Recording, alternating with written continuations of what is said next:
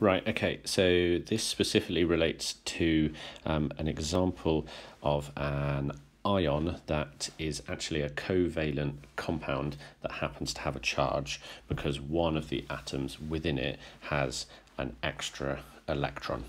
Okay, so one of the nitrogens must have more electrons than it normally would do. Nitrogen's in group 5. So if we just start with this nitrogen just here, and we said, right, there's one, two, three, four, five. And if we now give it an extra electron, then this is the nitrogen that is then responsible for the negative charge on the whole thing. Right, what you can see is that nitrogen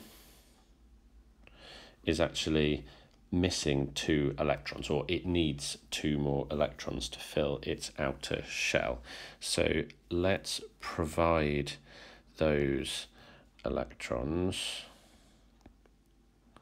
from this nitrogen just here.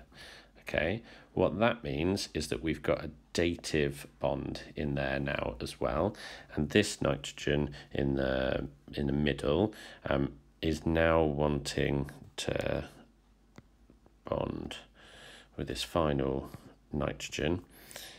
And it's already used up two of its electrons. So its third fourth and fifth need to be shared because this nitrogen still wants three more. So it's got to share three of its own. I'm going yellow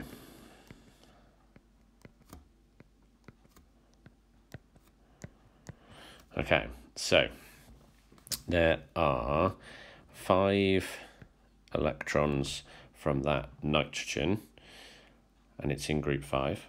Brilliant. And it's got three more. Okay, so that's got the eight that it wants. So that's that's happy.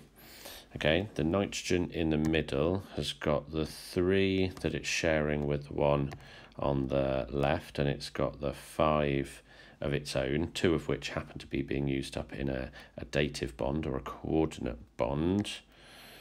Okay, so that is happy. And then this nitrogen on the right has got the two that were there from the dative bond, the five that it had of its own, and the one that it had um, because it it was the ion, it had arrived with an extra one, and it has to arrive with an extra one because the whole thing is has a negative charge. Okay, and 2 plus 5 plus 1 is also 8. So that one is happy as well. Now this whole thing, because it's got that negative charge, this whole thing is negative. So I hope that makes sense.